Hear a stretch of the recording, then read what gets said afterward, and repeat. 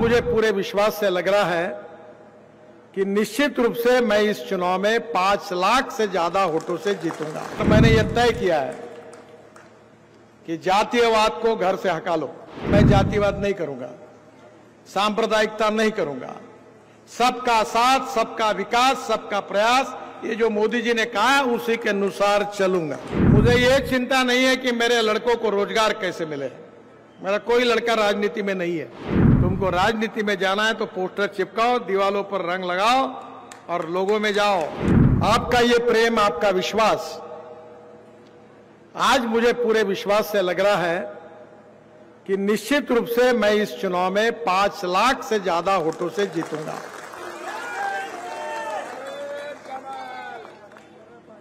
इस शहर में मेरी स्मृतियाँ है। इसी बस्ती में मुन्ना महाजन और उस समय हम सब युवा मिलके दीवारों पर लिखने का काम करते थे।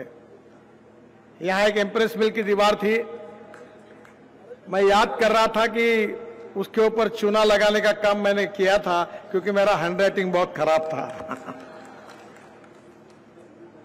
आप सब लोगों ने मुझे बहुत प्रेम दिया। ये जितनी बातें बताई जा रही है मैंने टनल्स बनाए, एक्सप्रेस हाईवेज बनाई बड़े बड़े ब्रिज बनाए, गंगा पर 11 ब्रिज बनाए, ब्रह्मपुत्रा पर बनाए।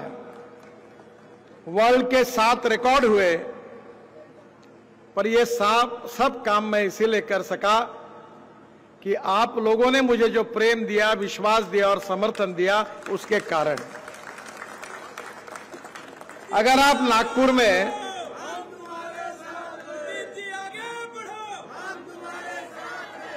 अगर मैं नागपुर में अगर लोकसभा चुनाव नहीं जीतता तो मैं मंत्री नहीं बनता और मंत्री नहीं बनता तो आपके लिए काम कहाँ से करता?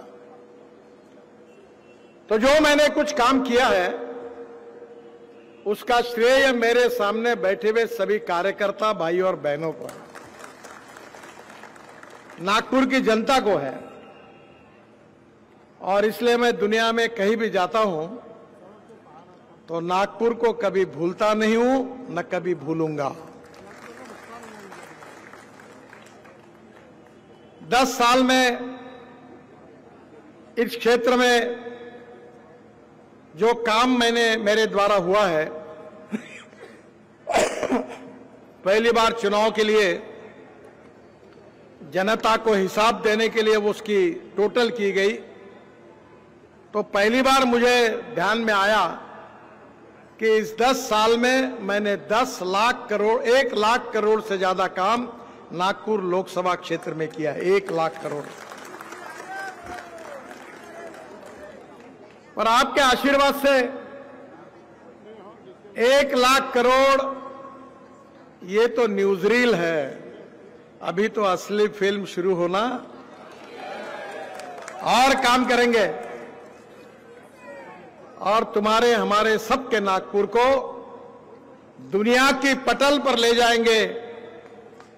देश का अच्छे शहरों में नहीं तो दुनिया के अच्छे शहरों में नागपुर लेकर जाएँगे, ये मैं आपको वचन देता हूँ। मुझे ये चिंता नहीं है कि मेरे लड़कों को रोज़गार कैसे मिले। मेरा कोई लड़का राजनीति में नहीं है। और मैंने उनको कहा था कि मेरे पुण्याई का उपयोग करके तुम राजनीति में जाओ मत। तुमको राजनीति में जाना है तो पोस्टर चिपकाओ, दीवालों पर रंग लगाओ और लोगों में जाओ।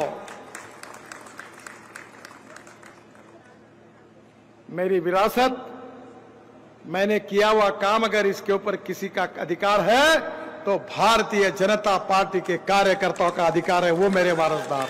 मैंने ये तय किया है कि जातीयवाद को घर से हका लो। नागपुर शहर मेरा परिवार है। आप सब मेरे हैं और मैं आपका हूँ। मेरे यहाँ कोई भी कैंसर, हार्ट का रुग्ण हो, कोई दिव्यांग हो, मेरी माँ ने मुझे बताया था कि तुम इनकी सेवा करते रहो, तुमको कोई कमी नहीं होगी। परसों मैंने करीब 90 इलेक्ट्रिक पर चलने वाली ट्राइसिकल दिव्यांगों को दी। जब मैं उनके पास गुलाब का फूल दे रहा था, उनके आँखों में आँसू थे। साढ़े तीन सौ लोगों को पैर लगा के दिए।